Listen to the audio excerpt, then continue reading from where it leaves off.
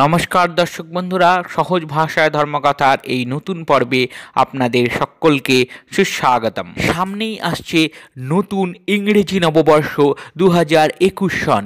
এই নতুন নববর্ষে জাতক জাতিকাদের রাশি অনুযায়ী ভাগ্যফল কি হতে চলেছে তার আভাস পাওয়ার চেষ্টা চলছে সহজ ভাষায় ধর্মকথায়। এই পর্বে আমরা আলোচনা করব মেষ রাশির রাশিফল দু হাজার একুশ সন।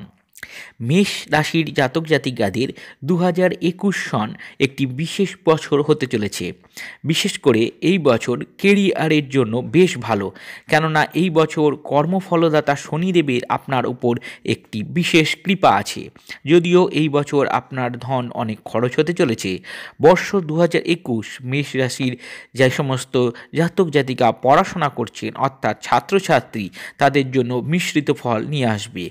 যদিও বছরের শেষে গুরু বৃহস্পতির শুভ প্রভাব চলার সময় আপনাদের পরীক্ষাতে সফলতা অবশ্যই আসবে এবং বিদেশে গিয়ে পড়াশোনা করার যদি ইচ্ছে থাকে, সেই ইচ্ছেও এই বছর পূরণ হতে চলেছে।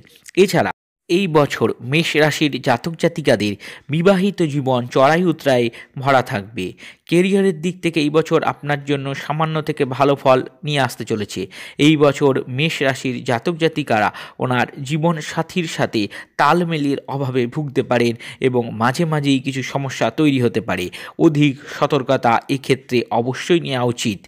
যে সমস্ত জাতক জাতিকারা মেষ রাশির এবং তারা চাইছেন যে প্রণয়ের সম্পর্ক থেকে বিবাহের দিকে নিয়ে যেতে, তারা অবশ্যই এই বছর প্রেমকে বিবাহে পরিণত করতে পারবেন। মেষ রাশির জাতক জাতিকাদের জন্য দু হাজার একুশ শুরু থেকেই খুব ইতিবাচকভাবে শুরু হবে।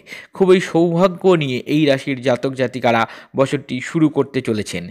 বন্ধু থেকে আত্মীয় সকলের সঙ্গেই দারুণ ভালো সময় কাটবে এই সময়। তবে কাজের দিকে অবশ্যই বেশি মনোনিবেশ করতে হবে। আর্থিক দিকে প্রবল উন্নতির যোগ রয়েছে।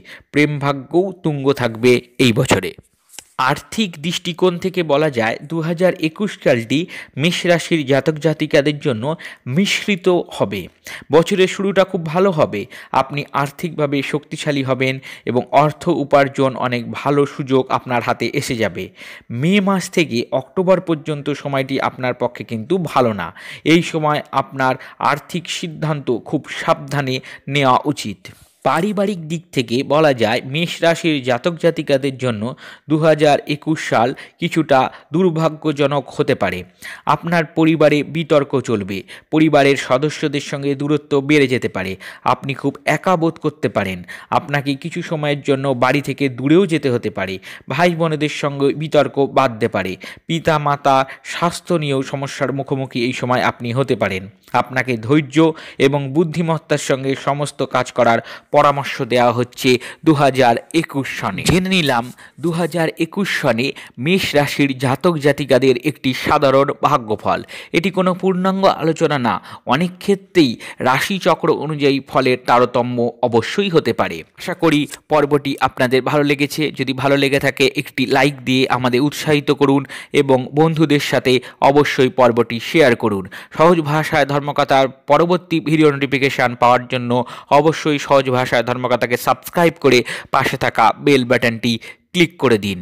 আগামী দু হাজার একুশ সনের আগাম শুভেচ্ছা অভিনন্দন সহ আজকের মতন বিদায় নিচ্ছি। নমস্কার।